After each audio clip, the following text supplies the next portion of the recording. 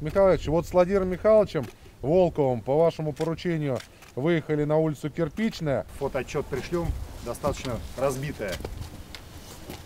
Вот такие ямы, Михайлович. На улице Кирпичной небольшое совещание жителей, исполняющие обязанности заместителя председателя областного правительства и мэр Ярославля. На прямой связи глава региона Михаил Евраев. Проблема в дороге у жилых домов. Несколько раз видели случаи, когда просто автомобили не могут разъехаться. А, Проблема в том, что один объезжает яму, а, другой не понимает, что он будет объезжать, он ее не видит, и происходят такие казусы дорожные. Получается, все внимание у водителей ямам, пешеходы в опасности. У Марины Савельевой четверо детей, младшая ходит в местный детский садик. Риск оказаться под колесами большой, обеспокоенная женщина. В будущем маленьких пешеходов будет здесь еще больше. Район активно застраивается. Местные жители шутят, на улице Кирпичной как раз кирпича и не хватает для ям. Многие уже готовы заделывать, настолько устали от дороги.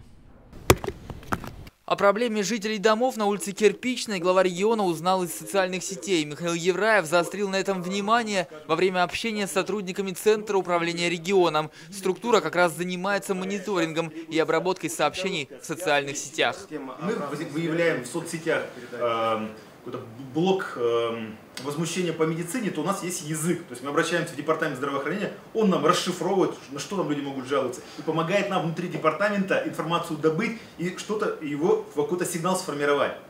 Конечно, проблемы отслеживают не только в здравоохранении. Внимание самым разным жалобам. У сотрудников четкий алгоритм действий. Сообщения отправляются исполнительной и муниципальной власти. Сроки на ответ жесткие. Всего за год Центр управления регионом обработал 90 тысяч сообщений людей. Информация о всех содержится в специальной карте. Ее показали главе региона.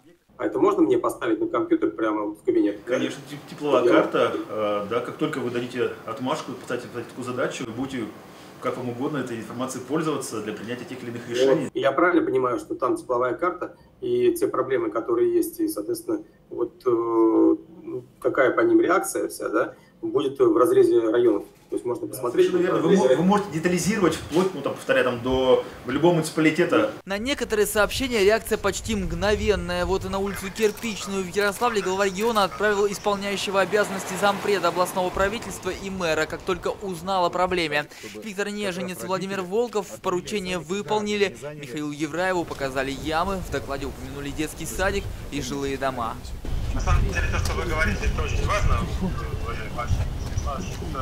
нужно постараться сделать в этом году. С учетом того, что еще примерно 2-3 недели погода должна постоять, и можно еще вести работы с асфальтом, выполнить первоочередные, э, первоочередной ремонт большими картами ориентировочно 400 метров, и по просьбе вот наших жителей еще сделать э, как раз э, автостояночные карманы непосредственно у детского садика. Это вот э, задача номер один. В будущем году улицу Кирпичную отремонтируют по национальному проекту «Безопасные качественные автомобильные дороги». Это поручение Михаила Евраева. Георгий Колчин, Денис Сахаров, Сергей Ватин. День в событиях.